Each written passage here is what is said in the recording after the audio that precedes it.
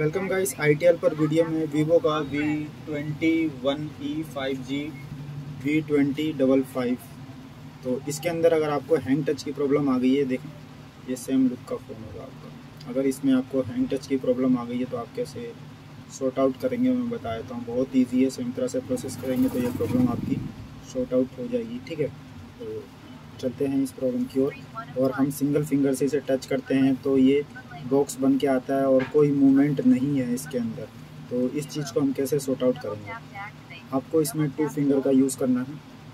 Two finger का use करेंगे तो ये सेटिंग का ऑप्शन आपका ऊपर आ जाएगा। साइड करके टू फिंगर से ये देखें चला गया। ये देखें आ गया। तो अब हम इसको सेटिंग के ऑप्शन को सिलेक्ट कर लेते हैं।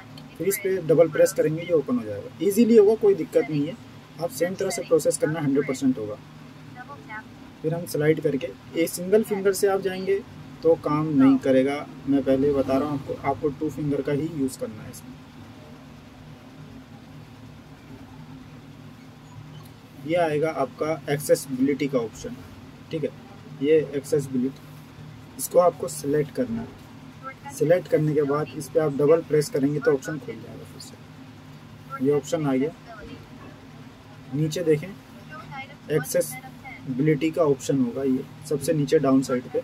तो इसको सिलेक्ट कर लेना है आपको। सिलेक्ट करने के बाद फिर इस पर डबल प्रेस करेंगे तो ये ओपन हो जाएगा आपका। अब हम देखेंगे एक्सेसिबिलिटी जो मेन्यू है, वो हमारा ऑफ़ है। सिलेक्ट टू स्पीक भी ऑफ़ शो हो रहा है हमारा। और स्विच एक्सेस भी ऑफ़ है। टॉल बैक ये हमारा ऑन है यहाँ से। तो इस चीज़ को हमें ऑफ़ करना है। इसको हम सिलेक्ट कर लेंगे। सिलेक्ट करने के बाद इस पर डबल प्रेस करते हैं। फिर ये ऑप्शन आ जाएगा आपका। इसको सिलेक्ट कर लेना नीचे वाले ऑप्शन को। फिर इस पर डबल प्रेस करेंगे। स्टॉप फिर डबल प्रेस और ये हमारा हो जाएगा। और ये जो हमारा हैंड टच की प्रॉब्लम थी, वो शॉर्ट आउट हो गई है। ठीक है गाइस अगर वीडियो अच्छी लगे तो चैनल को ज़रूर सब्सक्राइब करना। Thanks for watching